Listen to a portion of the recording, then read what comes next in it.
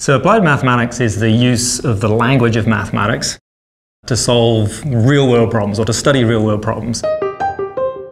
It's sort of a grey area between the language of mathematics and you know, theoretical sides of other applications.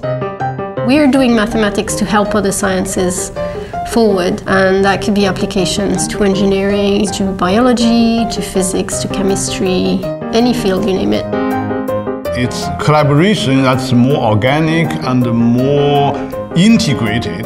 Of course, I need people who can do experiments, who are good at doing experiments, and they need people that have more quantitative skill. At UC Santa Cruz, what we try and do is help our colleagues I'm currently collaborating with uh, Mark Akeson and Kate Lieberman's lab in biomolecular engineering department, modeling single molecule experiments.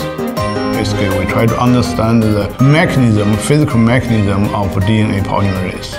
Uh, yeah, we have some lofty aspirations. So I work on fluid dynamics. Fluid dynamics is fun because fluid dynamics is everywhere. The air we breathe, the blood that's coursing through our veins. And of course, this doesn't only apply to Earth, it applies to other planets.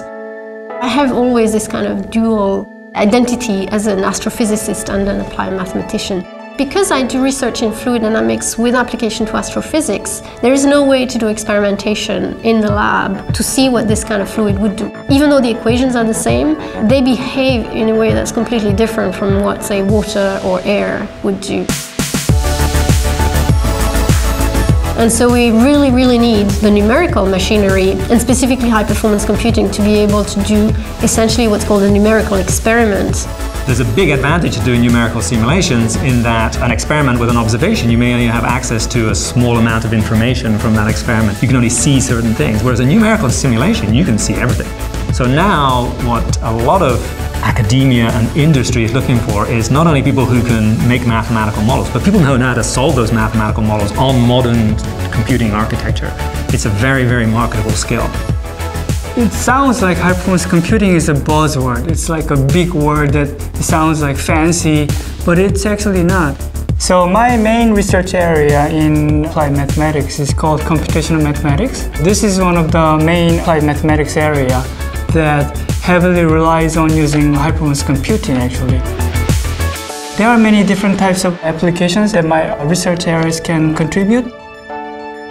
The research that I do and the, the, code that I develop is actually has been tested on very large scale computers.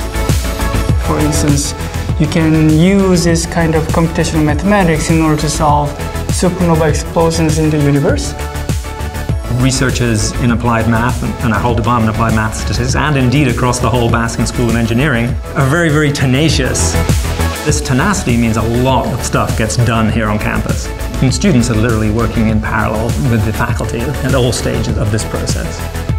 If you really want to investigate new areas, you somehow need new novel ideas. That is, I think, the focal point in modern science, and that's really happening within this applied mathematics and statistics department in UC Santa Cruz.